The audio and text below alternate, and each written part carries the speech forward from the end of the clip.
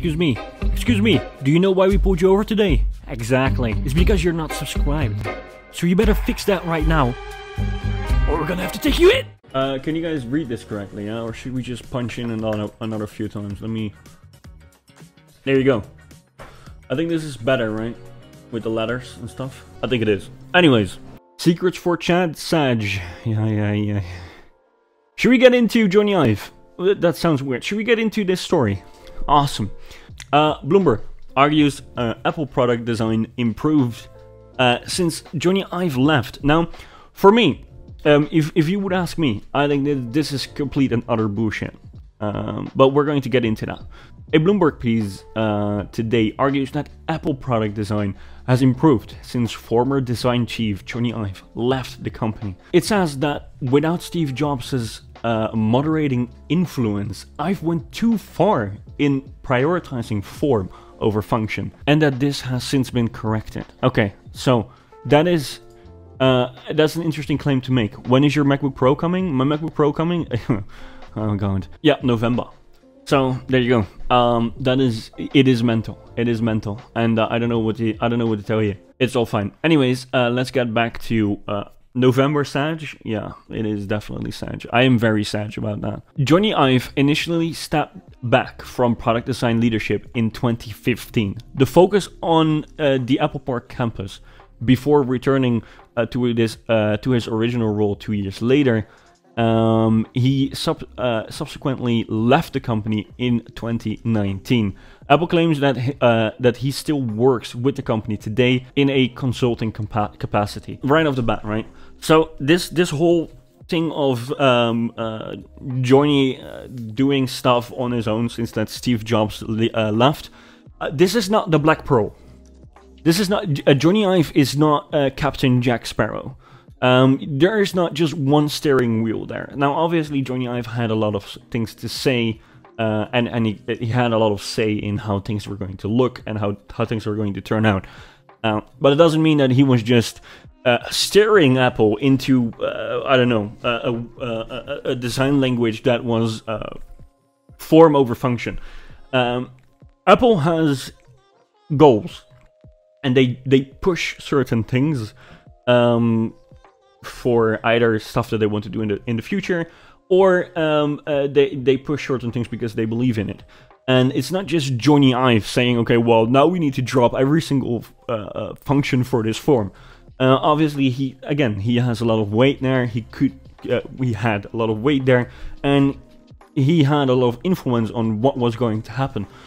But it just uh, but just blame if you are on that side of the spectrum, uh, blame everything on Jony. That's just I think that's it's just idiotic. It's it's insanity.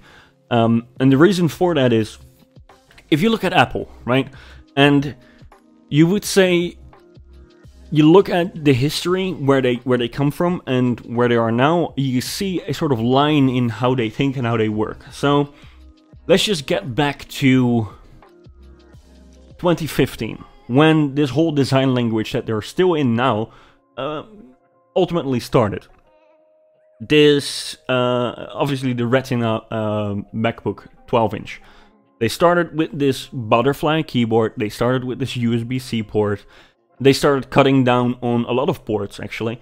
Uh, I've looked in, was it 2017? They did it on the iPhone. Uh, anyways, there, there was a lot of cutting there.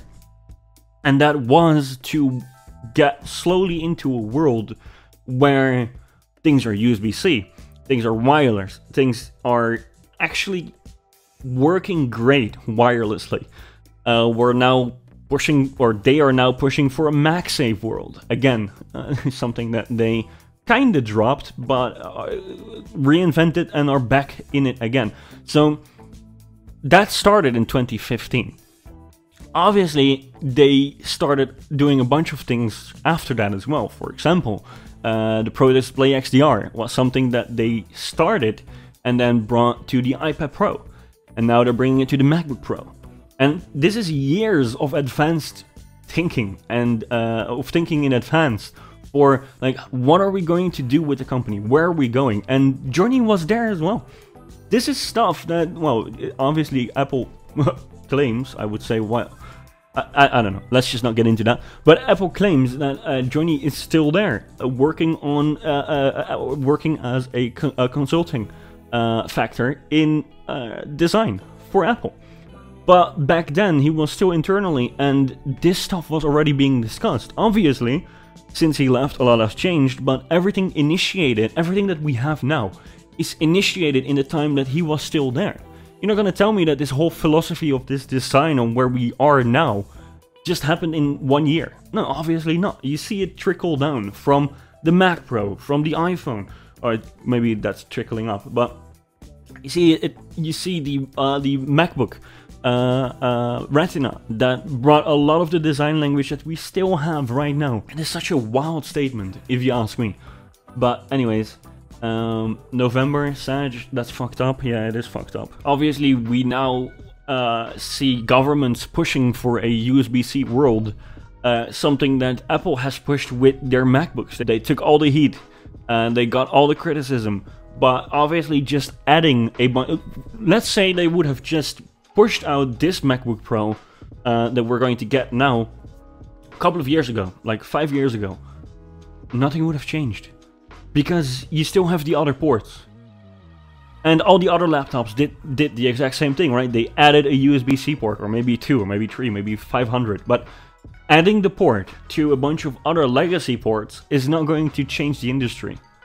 Because people are just going to use their own cables and maybe use a USB-C cable if it comes to to that. But now they were forced to do it. It makes so much more sense to now move back to legacy ports because most advanced uh, peripherals, most advanced uh, accessories, most advanced displays now use USB-C.